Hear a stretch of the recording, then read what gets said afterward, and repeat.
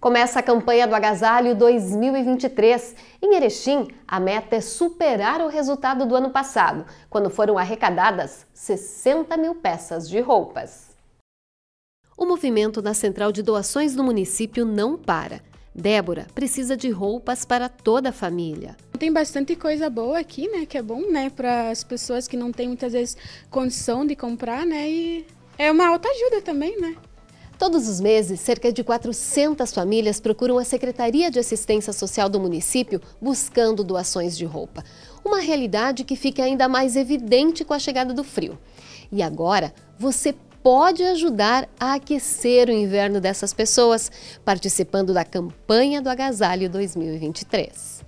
A campanha Doe Amor e Transforme o Frio em Calor é promovida pelo Poder Público Municipal.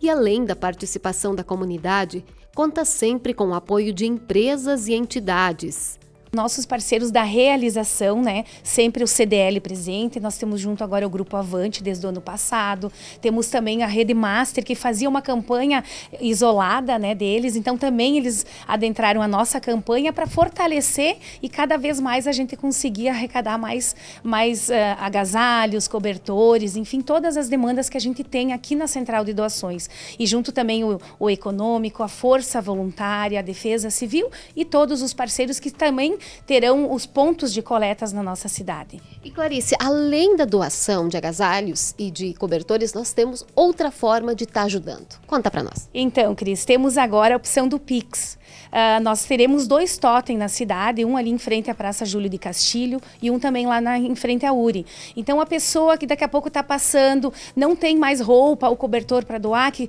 a gente tem sempre essa campanha né, permanente, agora é a campanha da Agasalho de Fato 2023 para arrecadar essas roupas roupas de inverno.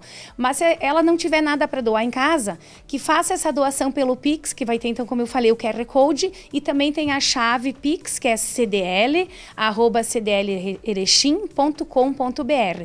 Pode uh, doar qualquer valor, depois vai ser revertido, eh, revertido esse valor em, em, em cobertores, comprado aqui no comércio da cidade e também eles vão fazer um preço especial para nós enquanto secretaria, enquanto a central de doações. A iniciativa vai até o dia 30 de junho. Encontre o ponto de arrecadação identificado com o cartaz da campanha e doe roupas em bom estado que você não usa mais.